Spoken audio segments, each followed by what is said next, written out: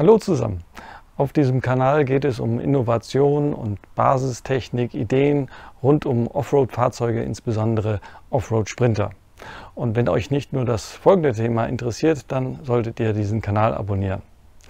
Der Cloud-Transporter hinter mir hat eine Lithium-Ionen-Batteriekapazität von 1000 Ampere-Stunden. Wenn euch interessiert, wie das Ganze aufgebaut ist, warum das Ganze, dann kommt doch einfach mal mit rein.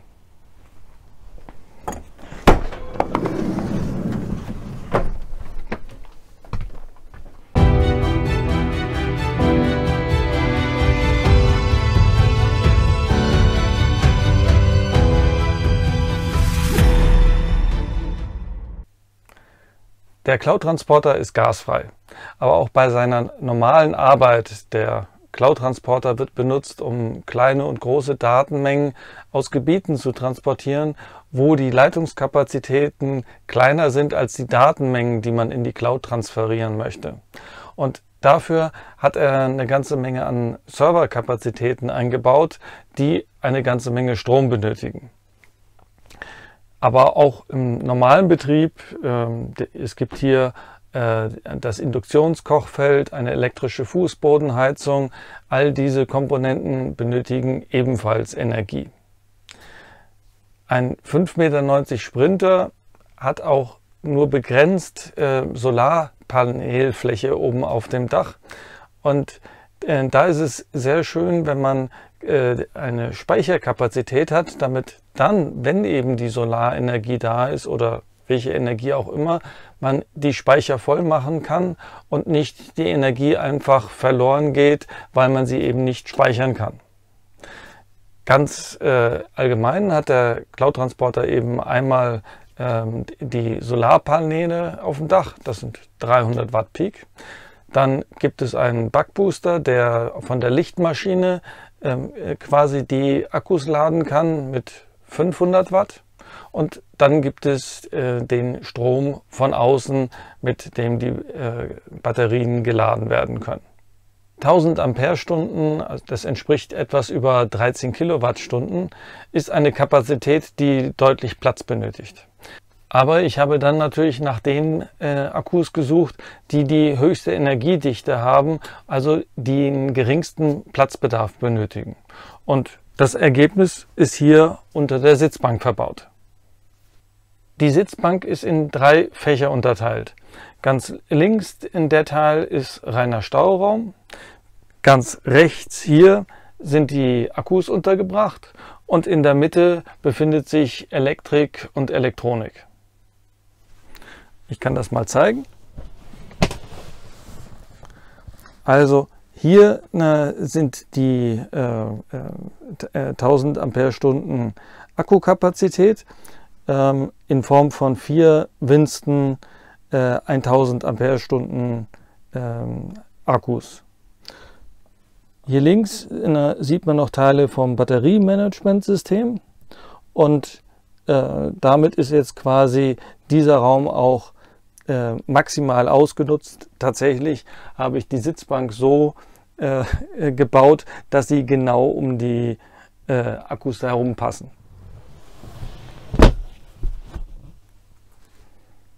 Eine besondere Herausforderung hatte ich hier noch bei der Elektrik, weil ich muss ja irgendwie dafür sorgen, dass ich Stromkabel und andere Netzwerkkabel, Glasfaserkabel von außen bis hier in das äh, Elektrikfach hineinbekomme.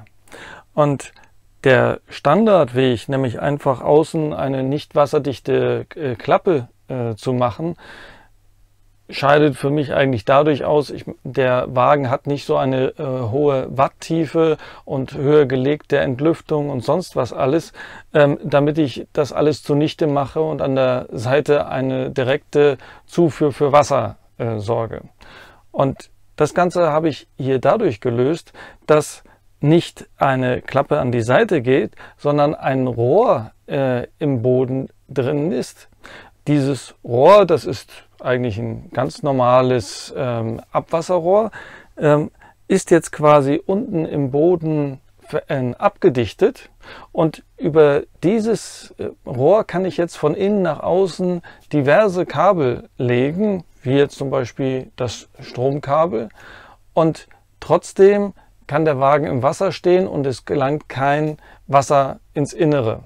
Es müsste quasi das, ähm, das Rohr, was aus dem Boden heraussteht, müsste soweit ähm, schon ähm, mit Wasser gefüllt sein, dass dann schon längst von außen äh, durch die Türen und sonst wo Wasser ins äh, Innere gelangen würde und dann wäre es da auch nicht mehr weiter tragisch. Ich zeige euch jetzt mal, wie dieses ähm, Elektrik- und Elektronikfach aussieht. Achtung, da ist jetzt noch Baustelle, das ist nämlich noch lange nicht fertig, deswegen liegen einige Kabel einfach so in der Gegend herum und es sieht erstmal sehr chaotisch aus. Aber eine äh, andere Idee wird hier an der Stelle auch noch deutlich, nämlich ich habe jetzt nicht einfach die ganzen Komponenten nur an einer Seite installiert, sondern nutze wirklich alle Flächen äh, in diesem Fach, um die ganzen Komponenten unterzubringen. Und das zeige ich euch jetzt einfach mal hier.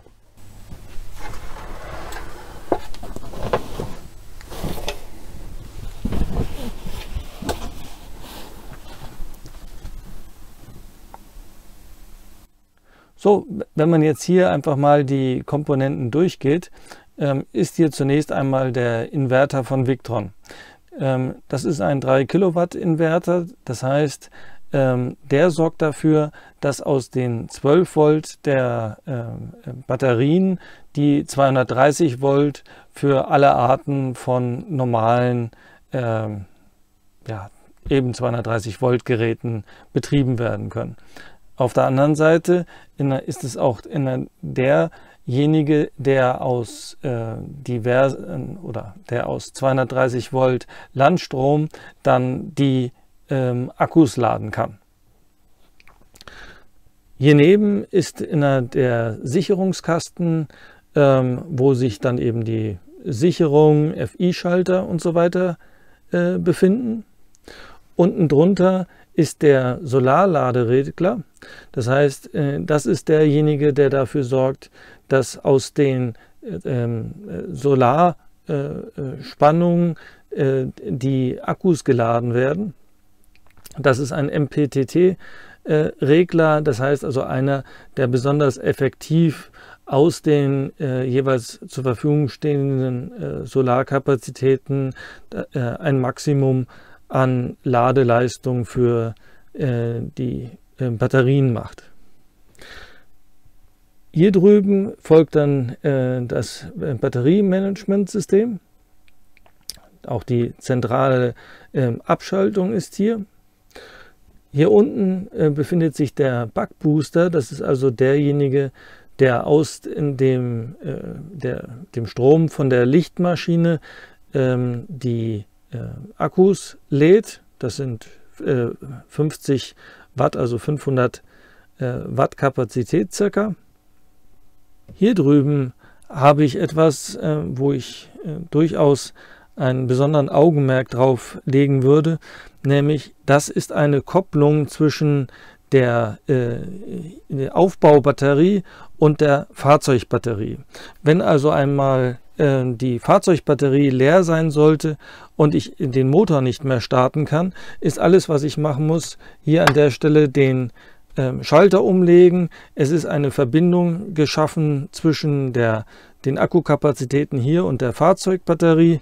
Und jetzt kann ich äh, ganz normal die, äh, das Fahrzeug starten äh, und muss jetzt nicht irgendwie nach draußen äh, mir von einem anderen Fahrzeug äh, Strom geben lassen, nur äh, weil die Fahrzeugbatterie eben leer ist. So, ähm, hier ist der äh, äh Zugang für 230 Volt von außen. Und äh, hier drüben ist noch ein Victron Octo. Äh, das ist ein Gerät, äh, mit dem die verschiedenen Victron-Geräte ausgelesen werden können, wo ich äh, dann Informationen über den Ladezustand und so weiter ähm, abrufen kann. Das ist dann also eher eine äh, elektronische Komponente, die dann für, äh, für den Bordrechner da ist, um äh, eben quasi die einzelnen Komponenten ähm, auslesen zu können. Hier sieht man ähm, auch von, von hier oben quasi ähm, das Loch, wo ähm, äh, ich ein Kabel äh, durch dieses äh, Abwasserrohr nach außen führen kann. Ja, das war es dann eigentlich auch schon, was ich euch in Sachen Elektrik hier einfach mal vorstellen wollte. Ich hoffe, es war interessant für euch und vielleicht ist ja die eine oder andere Anregung für euren Ausbau dabei. Wenn es euch gefallen hat, freut es mich und ich freue mich insbesondere, wenn wir uns bald wiedersehen. Macht's gut, bis dahin.